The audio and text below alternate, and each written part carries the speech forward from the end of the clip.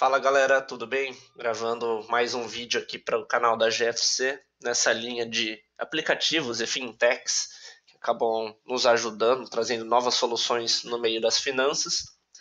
E hoje mais um sisteminha para controle financeiro de negócios, dos pequenos negócios. Hoje trabalhar com vocês mostrar o Bling. Só fazer o login numa conta exemplo aqui. Logar aqui no meu e-mail. Qual que é a ideia desses sistemas? Né? Eu já mostrei alguns outros para vocês. Eu gosto de fazer um paralelo que é como se fosse escolher um carro de determinada categoria que eu quero. Então vamos dizer que o meu pequeno negócio seja semelhante a uma categoria dos carros compactos. Então, na hora de escolher o carro, eu vou analisar. Eu sei que tem vários modelos, mas vou analisar o acabamento, como é por dentro, como é por fora, o desempenho, o preço. Então é basicamente isso que eu vou fazer com os sistemas. Eu vou ver o layout, vou ver quanto custa, vou ver as funcionalidades, o que vai me ajudar mais no dia a dia do negócio. Então aqui é a tela inicial do Bling, os módulos que ele tem. Né? Ele vai ter um módulo de finanças, clicar rapidinho só para vocês verem. Basicamente é uma parte para fazer lançamentos diários de receitas e despesas. Então aqui, por exemplo, já tem um lançamento de conta de água, vou fazendo o lançamento, vou dando baixa em pagamentos e aqui vou, vou conseguindo acompanhar a movimentação financeira do meu negócio. Aí quando eu quiser também ver relatórios, ele já gera aqui automaticamente uma série de relatórios. Módulo de vendas, que também acaba sendo bacana para quem tem produtos, ou até quem tem serviços, mas gosta de fazer sempre, incluir propostas, então aqui tem uma opção. Aqui em propostas comerciais eu posso lançar propostas, coloco os dados importantes, desculpa, e aqui ele acaba conseguindo filtrar e mostrar as propostas em andamento, as propostas que viraram negócio, as propostas que acabaram também não gerando a venda. Também da mesma forma tem aqui uma parte para relatórios. Suprimentos é muito interessante para quem tem estoque, para quem vende produtos.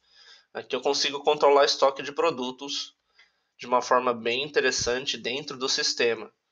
Então aqui, por exemplo, se eu quisesse ver um produto, aqui ó, um exemplo que já tem aqui dentro, produto B, ele mostra, ó, hoje tem, tem uma entrada de 100 desse produto que custa 10. Ele mostra. Se eu quisesse fazer mais lançamentos, eu ia fazendo. E conforme eu vou fazendo as vendas, então aqui pedido de compra, ele vai subtraindo isso. Aqui no caso não tem nenhuma venda, mas o que eu teria que fazer? Gerar um novo pedido e aqui colocar. Ele pode puxar ou aqui exatamente dessa parte, ou aqui das vendas também, ele já acabaria subtraindo de lá pedido de venda, aqui uma vez que eu vou dando abaixo, tanto um pedido quanto também venda em balcão, acho que é legal ter, eu já gero aqui. Por exemplo, vendi um produto B, de aqui sempre que tiver pintado em cinza, mais clarinho, é, um, é algo que eu não consigo editar, é o preço que está lá no cadastro desse produto. Mas vamos dizer que eu consigo vender então isso a 10 reais. Vou vender 5, por exemplo a entrada, vendi. Se eu quisesse emitir comprovante, se eu quisesse salvar, sem ser para imprimir, mas salvar para o meu computador, conseguiria. Que pagamento, também consigo colocar os dados. Vamos dizer que o total da venda foi 50. Se eu quisesse dar algum desconto, tá, vamos dizer que eu recebi exatamente os 50. E aí eu posso até emitir um comprovante, como se fosse um recibinho, né? Você aparece aqui, ó, vai até já vai na tela de impressão, né? Como se fosse um, um recibo. Aí se eu volto lá no estoque, justamente desse produto B,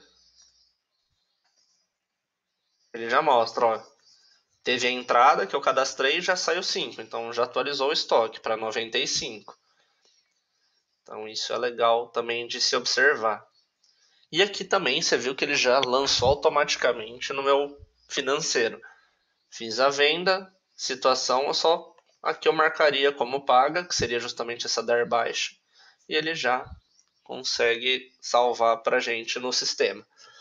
Para cadastros também legal, que a gente pode cadastrar cliente, fornecedor, produto, vendedor e, ver relatórios também, né? Acabou. Vem no relatório a lista de preços, por exemplo, preços dos meus produtos.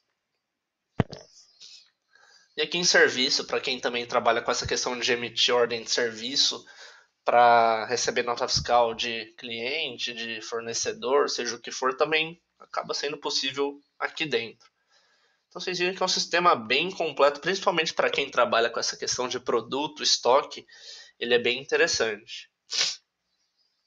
Aí voltando um pouquinho aqui na página inicial dele, vou até fazer o logout só para ver que ele tem mais de um plano, né? Se eu venho aqui em planos, acaba tendo o plano de 25 por mês até o plano de 100 reais por mês. Então, um valor também acessível.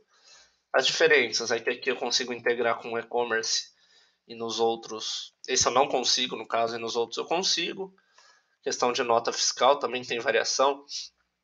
Aqui os tipos de nota que eu consigo emitir.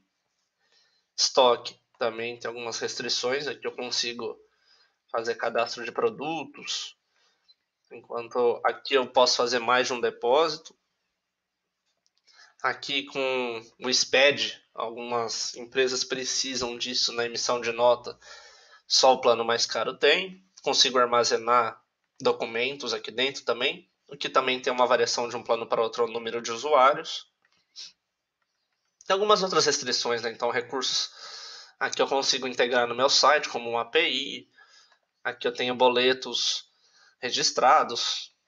Também tem uma variação, aqui é só no MOIP, aqui tem outras integrações com o próprio banco. Nas finanças também tem diferenças, ó, aqui eu tenho contratos de cobranças, aqui eu tenho envio de cobrança recorrente, então também automatiza fica um pouquinho mais caro. Então é aquilo que eu falei no começo do vídeo, é observar o que acaba sendo válido para o negócio. Se alguém tiver alguma dúvida, algum comentário sobre o Bling, pode deixar aí nos comentários. E até o próximo vídeo, quando eu vou trazer mais algumas dessas novas empresas que estão trazendo verdadeiras inovações para o mercado relacionado às finanças. Então, um abraço a todos e até o próximo vídeo.